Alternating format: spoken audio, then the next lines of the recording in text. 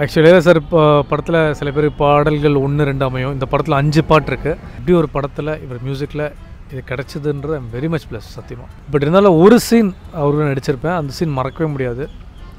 ரொம்ப சந்தோஷமாக இருந்தது. அன்றைக்கி அந்த சீன் நடித்து முடிச்சுட்டு ஒரு டூ ஹவர்ஸ் நாங்கள் உட்காந்து பேசிகிட்டு இருந்தோம். அதுதான் நான் கடைசியாக அவரை பார்த்தது. ரொம்ப மகிழ்ச்சியான விஷயமும் ரொம்ப துயரமான விஷயம் என்னென்னா அவர் நம்ம கூட இல்லைன்றது தான். இப்போ உதயநிதி சாரும் நடிச்சுமோ அந்த காம்போ எப்படி ஒர்க் அவுட் ஆச்சு? ஜீவாஸோட ஒர்க் அவுட் ஆச்சு. ஆர்யா அது மாதிரி உண்மையில் இந்த படம் வந்து ஒரு நல்ல காம்போ ஒர்க் அவுட் ட்ரீமாக நம்ம எல்லாரோட ஒர்க் பண்ண ஒரு ஆசை இருக்கும். அது நிச்சயமாக வந்து எனக்கு வந்து ஒரு ஒரு மூணு டேரக்டர்ஸை தவிர்க்கவே முடியாது இண்டஸ்ட்ரியில் ஒன்று வந்து Bala sir Selvaran sir Ameer sir. கண்டிப்பாக அந்த படம் வந்து உங்களை ஏமாற்றத்தை தராது. அதில் இரநூறு சதவீதம் கேர வேண்டிய நான் நடித்த படம்னு சொல்லலை. அப்படி பொய்யான ஒரு கேம்பெயின் நான் பண்ண அவசியமே இல்லை. நாளைக்கு இப்படி ஒரு விஷயம் நான் பண்ணேன்னா கமெண்ட்டில் கேட்பீங்க. அது எனக்கு தெரியும். எல்லாருக்கும் வணக்கம். Actor Prajan talks of cinema நீங்கள் பார்த்துட்ருக்கீங்க எல்லாருக்கும் மனமான வணக்கங்க. ஒரு நாள் டேரக்டர் எனக்கு கால் பண்ண அதிரான் சார் கால் பண்ணார். இது மாதிரி ஒரு லவ் ஸ்டோரி ஒன்று பண்ணுறேன் ஸோ உங்களை பார்க்க முடியுமான்னு கேட்டார். ஓகே சார் இம்மிடியட்டாக அன்றைக்கி ஈவினிங் போனோம். கதை சொன்னார். ரொம்ப பிடிச்சி போச்சு கதை. ஏன்னா லவ் ஸ்டோரி இது வரைக்கும் என்ன என்ன என்ன எனக்கு என்ன டவுட்னா இது வரைக்கும் யார் எங்கே எனக்கு ஏன் இந்த லவ் ஸ்டோரி வரவே இல்லைன்னு தெரில நான் டெலிவிஷன்லேயும் வந்து லவ் ஸ்டோரி தான் நான் பண்ணிகிட்டு இருந்தேன். நிறைய ஹிட் சீரியல்ஸ் நிறைய வந்திருக்கு. பட் நானும் யோசிச்சிருந்தேன் என்னடா அது நமக்கு நமக்கு ஏன் லவ் வரமாட்டேங்குது? நமக்கு ஏன் கதை கொண்டு வர மாட்டுறாங்க? ஏன்னா அப்போ த்ரில்லர் ஜேர்னர் இருந்துச்சு. யாருமே லவ் பண்ணல லவ் ஸ்டோரி பண்ணல. ஒரு ஜேர்னர் பேஸ்டாக இருக்கிறதுனால எல்லாம் சேஃப் சைடாக ப்ரொடியூ ப்ரொடக்ஷன் சைடில் அப்படி பண்ணிட்டு இருந்தாங்க. இவர் கூப்பிட்டு கதை சொன்னார் கதை ரொம்ப நல்லா இருந்துச்சு. அப்போ சொன்ன இளையராஜா மியூசிக்னு அப்பா அதோட சந்தோஷம் ஒரு நடிகனுக்கு தேவையே கிடையாது. கிட்டத்தட்ட ஒரு எயிட்டி நைன்டி பர்சன்ட் படம் அங்கேயே ஹிட் ஆன மாதிரி கணக்கு. இப்போ கேஸ்டின் குரு சொன்னார் கிங்ஸ்லி நடிக்கிறாங்க மதுமிதா மனோபலா சார் முத்துராமன் சார். எல்லாம் நடிக்கிறாங்க. ரொம்ப சந்தோஷம். கதை ரொம்ப எக்ஸ்ட்ராடினரியாக இருந்துச்சு. ஃபர்ஸ்ட் லவ் தான் கதையை. ஸோ ஒரு நடிகனை ஒரு லவ் ஸ்டோரி தேடி வந்து சுமாரான லவ் ஸ்டோரியாக இருந்தாலும் யாரும் விட மாட்டாங்க. ஸோ நம்ம நம்ம வியந்து பார்த்து கேட்டு வளர்ந்த ஒரு மேஸ்ட்ரோ இளையராஜா சாரோட மியூசிக்கில் நம்ம ஹீரோ நடிக்கிறோம். யுவன் சார் பாடுறாரு. ஸோ ஸ்னேகன் சார் லிரிக்ஸ் யுகபாஜா லிரிக்ஸ் இதெல்லாமே ஒரு நல்ல படத்துக்கு அதுவும் அமைச்சுக்கும். ஸோ அப்படி இருக்கும்போது அதில் நோன்றது ரிப்ளையும் கிடையாது. ஸோ ஆல்வேஸ் எஸ் தான். ரொம்ப சந்தோஷமாக இருந்துச்சு அந்த படம். எனக்கு என்ன என்னை தேடி வந்தது. செம்மையா இருக்கா? நம்ம ஸ்கூல்ல பார்த்ததே இல்லையே அவளை. பெங்களூர் தக்காளிடா மாப்பிள்ள. ஆக்சுவலி சார் இப்போ படத்தில் சில பேர் பாடல்கள் ஒன்று ரெண்டு அமையும். இந்த படத்தில் அஞ்சு பாட்டு இருக்குது இந்த அஞ்சு பாட்டில் எனக்கு மூணு பாட்டு இருக்குது மூணு பாட்டில் யுவன் சார் ஒரு பாடல் பாடியிருக்காரு என்னோட பாட்டு. இளையராஜா சார் மியூசிக்கில் இளையராஜா சார் லிரிக்ஸில் இது வரைக்கும் இது அமைஞ்சதும் இல்லை நடந்ததும் கிடையாது. இந்த படத்தில் எனக்கு அமைஞ்சிருக்கு. I am very much blessed கடவுளுக்கு நன்றி. ரொம்ப சந்தோஷம். அது தினேஷ் மாஸ்டர் தான் கொரியோ குறைவு பண்ணது. ஸோ எல்லாமே பிராண்டாக இருக்கும்போது அந்த பிராண்டில் நம்ம ஏதோ ஒரு ஓரமாக ஒரு டேக்காக இருக்கிறதுன்றத ரொம்ப முக்கியம் எனக்கு படத்தில். அது எனக்கு அமைஞ்சிருக்கு. ரொம்ப சந்தோஷம். ஆதிரன் சாருக்கு ரொம்ப நன்றிகள். அது வந்து கம்போஸ் பண்ணி அந்த சாங் கம்போஸ் பண்ண பண்ண ஃபஸ்ட் ஃபஸ்ட்டு இளையராஜா சார் நான் மீட் பண்ணேன் ஸ்டுடியோவில் பயங்கரமான வைப்ரேஷன் எல்லாருமே சொல்லுவாங்கள்ல உண்மையில் இந்த கடவுள் கோவிலுக்குள்ளே போய் இந்த மெயின் கடவுள் இருக்கிற அந்த கர்ப்ப இடத்துக்கு போகிறதுன்றது நம்ம அந்த இடத்துக்கு போகிறது வைப்ரேஷன் கிடைக்கும் சொல்லுவாங்க இல்லையா? உண்மையாலே இளையராஜ் சாரை வந்து இவ்வளோ ஒரு அஞ்சடி பத்தடி கிட்டத்தில் பார்த்துருக்கேன். அந்த ஒயிட் அண்ட் ஒயிட்டில் பார்த்தது உண்மையிலே ஒரு மெஸ்மரைசிங் ஒரு ஒரு ஹியூமன் நல்ல மனிதர் பாசிட்டிவ் வைப்ரேஷன் ஒரு பயங்கலந்த ஒரு மரியாதை அவரை மீட் பண்ணது. உண்மையில் நான் லைஃப்பில் ரெண்டு ரெண்டு லெஜண்ட்ஸை மீட் பண்ணியிருக்கேன் ஒன்று வந்து இளையராஜ் சாரையும் பாலா சாரையும் மீட் பண்ணியிருக்கேன் அந்த வைப்பு இது இது வரைக்கும் அந்த வைப் போகல என்கிட்டருந்து பெரிய விஷயம் நம்ம உண்மையில் நம்ம ஏதாவது புண்ணியம் பண்ணியிருக்கணும் கண்டிப்பாக ஏதாவது மேபி என்னோடய பேரண்ட்ஸ் இல்லை நானா யாருன்னு தெரில இப்படி ஒரு படத்தில் இவர் மியூசிக்கில் இது கிடச்சிதுன்றது ஐம் வெரி மச் ப்ளஸ் சத்தியமாக யாருக்குமே அந்த வாய்ப்பு அமையாது. எனக்கு கிடச்சிருக்கு. ஐம் வெரி ஹாப்பி அப்புறம் மச்சான்?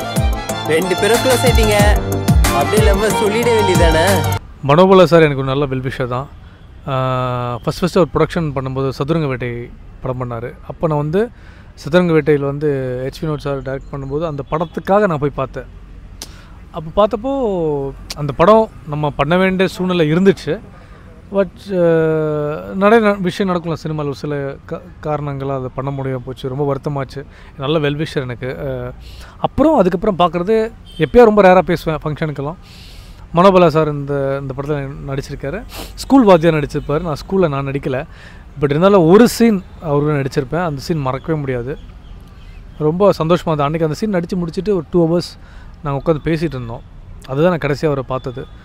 ரொம்ப மகிழ்ச்சியான விஷயமும் ரொம்ப துயரமான விஷயம் என்னென்னா அவர் நம்ம கூட இல்லைன்றது தான். ஆனால் முழுக்க முழுக்க ரொம்ப பாசிட்டிவான ஒரு ப்ரொடியூசர் ஒரு டைரக்டர் கம் ஆக்டர் நிச்சயமாக அவர் அவரோட பிளெஸ்ஸிங் நிச்சயம் இந்த படத்துக்கு கண்டிப்பாக இருக்கும். அவர் ப்ரெசன்ஸ் இங்கே இருந்துகிட்டே இருக்கும். ஆப்சன்ஸாக இருந்தால் கூட.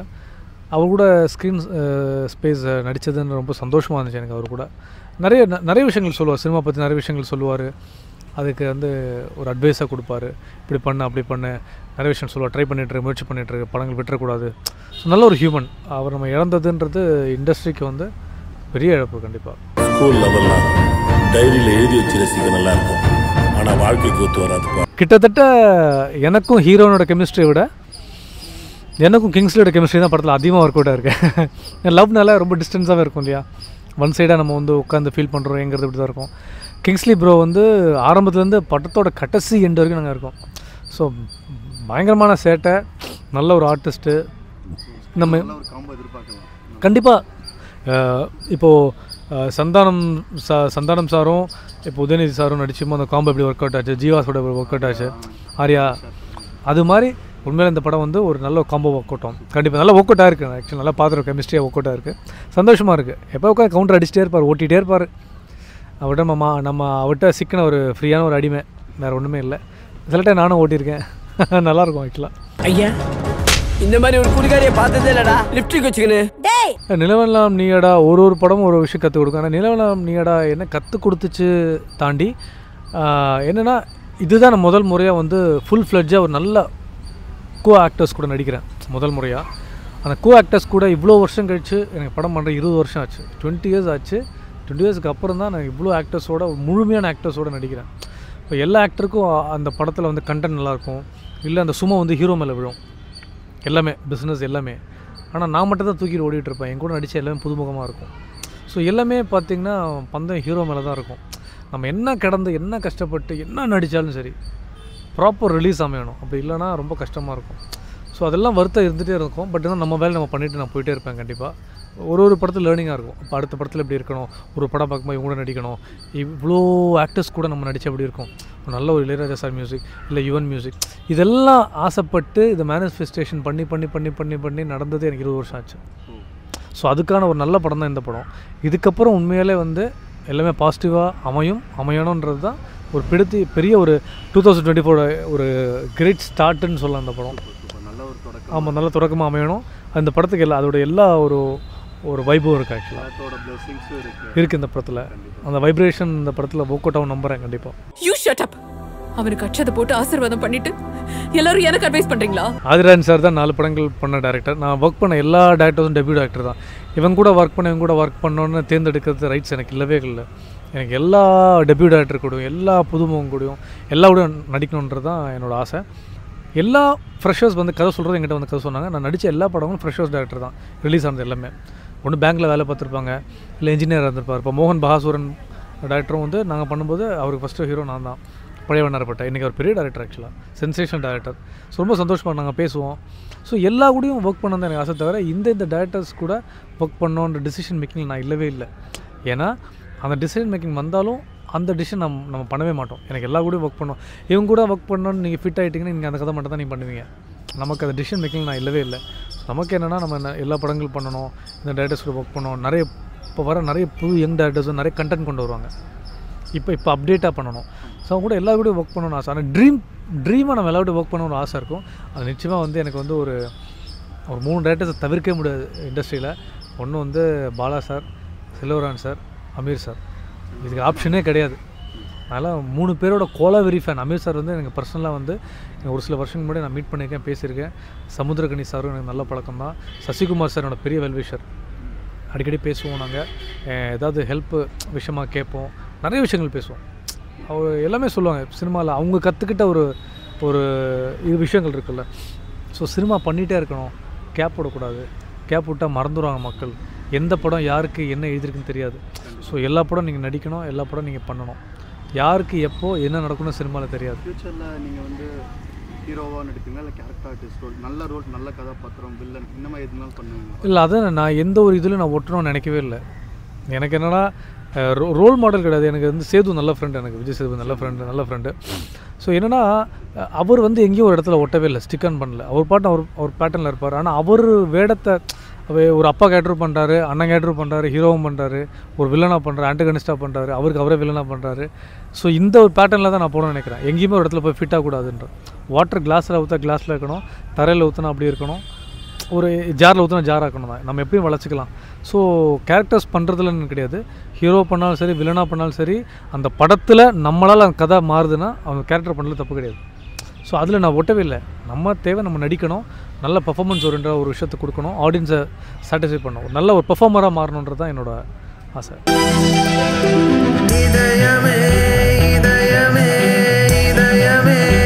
இல்லை இப்போ இப்போ ப்ரிப்பரேஷன்னா ஒரு இல்லை இப்போ இப்போ எனக்கு என்ன இன்னைக்கு என்ன பிரச்சனைனா இனிமேல்ட்டு புதுசாக ஒருத்தர் வந்து படம் பண்ணி ஜெயிக்கிறதுன்றது நான் டிமோட்டிவேட் பண்ணல. ரொம்ப ரொம்ப கடமான விஷயம். இப்போ இருக்க சினிமா கட்டத்தில். ஏன்னா இப்போது ஒரு காலத்தில் சினிமா வந்து பண்ணுறது வந்து ரொம்ப ஈஸியாக இருந்துச்சு.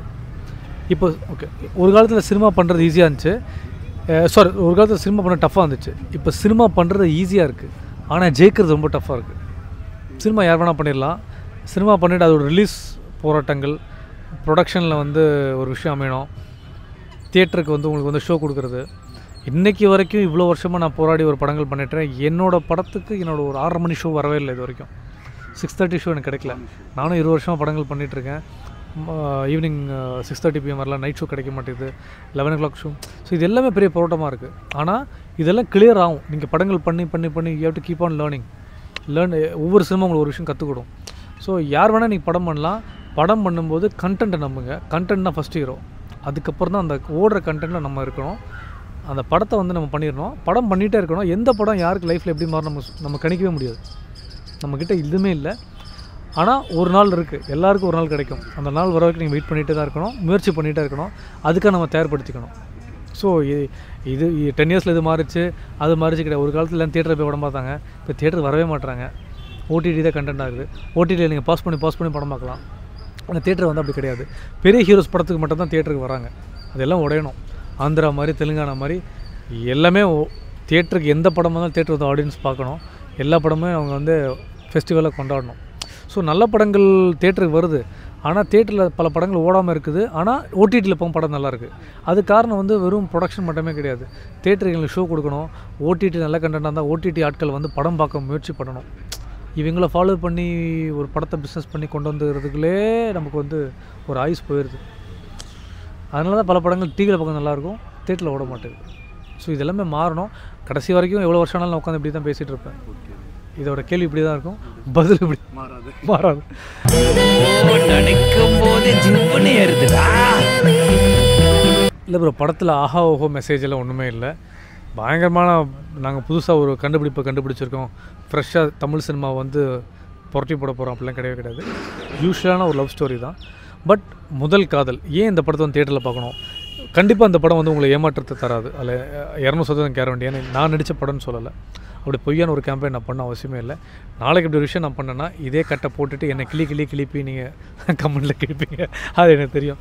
அந்த கேரண்டிட்ட தான் நான் பேசுகிறேன் எப்போவுமே ஆடியன்ஸ் பாயிண்ட் ஆஃப் உங்கள் கதை கேட்டிங்கன்னா இந்த கதை மற்றவங்களுக்கு பிடிக்கணும்.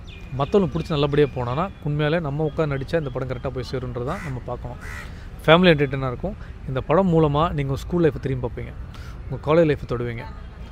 மறந்த லவ் ஞாபகப்படுத்துவீங்க. இல்லை உங்கள் ஃப்ரெண்டில் கொஞ்சம் ஹெல்ப் பண்ணியிருப்பீங்க அதை டச் பண்ணும். ஒரு ஃபீல் குட் படமாக இருக்கும். ஒரு படம் பார்க்கறது மூணு விஷயந்தான் ஒன்று நம்மளை சந்தோஷப்படுத்தணும். இல்லை அழ வைக்கணும். இல்லை புதுமையான முயற்சியாக இருக்கணும். நான் சொன்ன ரெண்டாவது பாயிண்ட் நிச்சயம் அந்த படம் ஃபீல் குட் படமாக இருக்கும். ரெண்டு சொட்டு கண்ணீர் விடாமல் நீங்கள் தேட்டரில் இருந்து போட மாட்டீங்க. அதில் ஷுவர் ஷார்ட் கேரண்டி அதில் ஒரு ஃபீல் குட் நல்ல படமான ஒரு மியூசிக்கல் லவ் ஸ்டோரியாக இருக்கும். வாங்க ஜாலியாக என்ஜாய் பண்ண ஃபேமிலியோட ஒரு ஃபீலை நீங்கள் ஒரு ஃபீலோடு நீங்கள் வீட்டுக்கு போகலாம். அதில் வந்து நல்ல கேரண்டி நான் கொடுக்க முடியும்.